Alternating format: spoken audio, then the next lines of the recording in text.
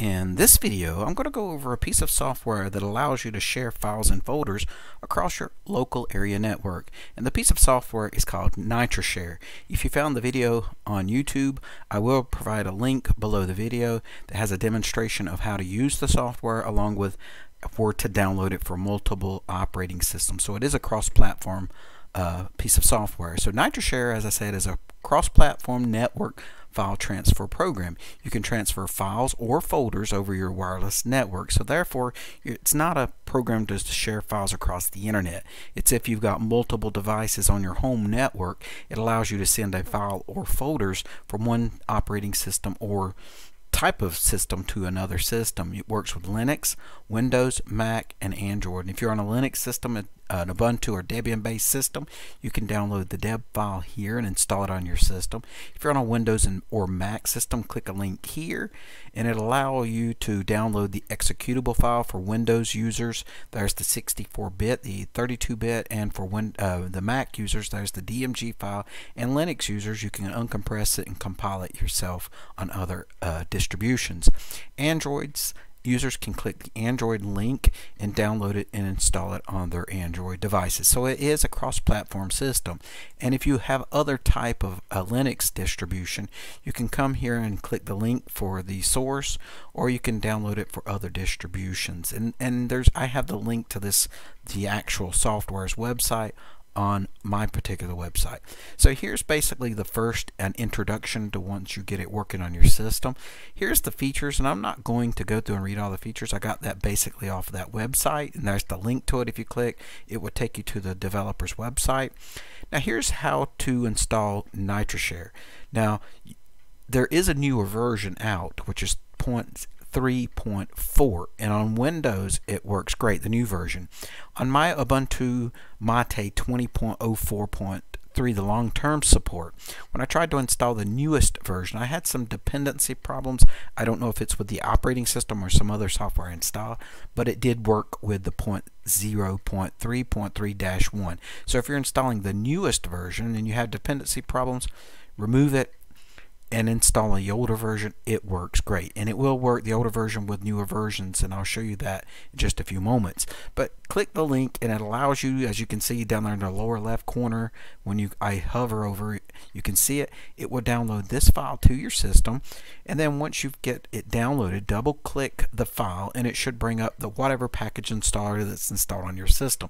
If you don't have a package installer for your Ubuntu or Debian-based system, you can open up your terminal and put sudo apt install GDebi and GDebi will bring up the package then the GDebi package installer where you can click the install package button. It will prompt you for your password and wait before it says same version already installed before you click the close button on the package installer.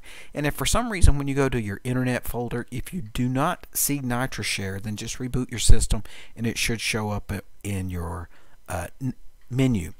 Once you click NitroShare, you'll see this for the first time and then you won't see it anymore when you click onto NitroShare. So this will be your first time run that gives you a little brief description and introduction on NitroShare and you close that and then it will bring it will place it in the system tray. So when you click on the icon, you'll get send file, send directory, view your transfers from one system to the other. You can look at your settings, about, about Qt, and exit. So as you can see, it's written in Qt.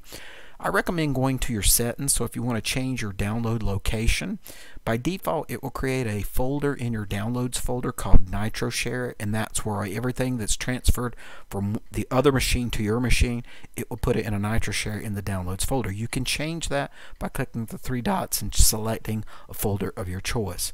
Here's the behavior. You can check this to, to run on auto uh, when you log in, but that just loads something else in the system tray, which takes a little more time. I'm not always sending files from one machine to another, so I uncheck that particular box. But make sure that you do have allow local applications to interact with NitroShare or it won't work and make sure you have that checked so that you're receiving files. If you don't have that checked, it's like a firewall, it will block it out. The next tab you see will be the security tab and that's if you want to make it uh, encrypted. So I don't because I'm on my own network from one machine to the other. If you decided you wanted to, you could check that and make the settings accordingly. Here's what's important. When you click on the advanced button, if you're running a firewall, the uh, UFW firewall, then you're going to need to know the ports and the port numbers to give your firewall permission to allow files to and from See, this is where it's broadcasting and this is the transfer port. So if you, you need to look and see what number these are, you can use up and downs or you can highlight that and overwrite those. And I chose the default. I allowed them into my firewall so that way that I just opened up my terminal, copied that command, pressed the enter key, put my password, and it added that rule, and then I added the next number, and then added that rule. And that way when I opened up uh, the program, it give permission. And you can open up your firewall uh, he, to see it. You can go like in my case system preferences internet and network and click on the firewall configuration. Then you click on rule and you can see that it added the two rules here. So it allows incoming on that port and that port so it won't block out. Now instead of showing you pictures now let's actually show it in action. Let's go to internet we're going to go to NitroShare. It'll take a moment or two and there it's loaded up. So when I click onto it, send the file, I don't have it on my other system. So in order for you to see it, I've installed a virtual machine and I got Linux Lite because it is a smaller Linux uh, version than what I have here. So let's go and turn it on. So let's go to Internet, click onto NitroShare. and in a few moments, as you can see, it's over here running in the system tray. So in just a moment you'll see a little pop-up indicating that it's now found it within both systems from the Linux Lite and from the Ubuntu Mate. Let's say send a file. Let's just choose a small file. I'm going to choose this little uh, file. Well, I'll even send the 25 megabyte file. It's to my printer. It's to install the printer software. So I click open. And as you can see here, you're going to select, if you've got multiple devices with NitroShare on them, you'll see all the devices that's currently running in the system trays of here and down up here. Uh, you'll click on that and then you can send it to that operating system. Here the Linux Lite is the Linux Lite you see in the background. So I hit OK and as you can see it's transferring from my Ubuntu Mate and I got a little thing saying NitroShare transfer with Linux Lite succeeded. As you can see on the Linux Lite transfer, so if I click here and then I say view the transfers, as you can see on the Linux Lite, it actually 100% succeeded. So when I go to my, bring up my file manager, I'll go to the downloads folder, which is here. It created a folder called NitroShare, and there is the printer for my Hewlett Packard printer on uh, my that's connected to my system. So if I wanted to install the printer driver, I would just install it from that particular file. Now let's go the other way. Let's send a file from the Linux Lite and say send a file and then let's choose I'll choose the calendar file which I have here. I'll hit open and I'm going to choose the desktop just as I did on the other direction. Hit OK and it says 100% and as you can see up here in my Ubuntu Mate it let me know that it received it so if I click on the that or click onto it and say view transfers it should and, it, and it's here in the taskbar as you can see on the Linux Lite 100% receiving and sending and on the Ubuntu Mate 100% sending and receiving. So if I open up my file manager, I go to my downloads, it created a NitroShare and there is the calendar. I don't know why it created a calendar here, and I could probably go in my settings and turn that off, but there's nothing in that folder.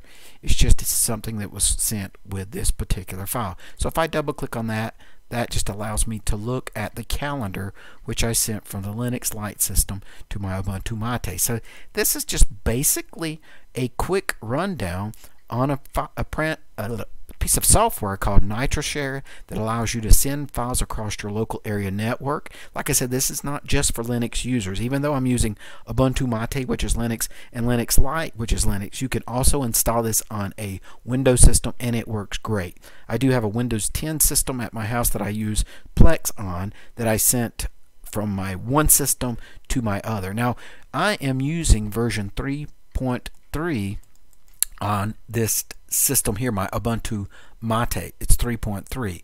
On the Linux Lite, I am using 3.4. So you can mix versions. So if one system can handle the 3.4 without any dependency issues, I recommend you to install the newest 3.4 on your system. So far I've not noticed any differences uh, from the 3.4 than the 3.3. So if you can't install the 3.4, then it should be able to install the 3.3 or the 0.3.3 on your system.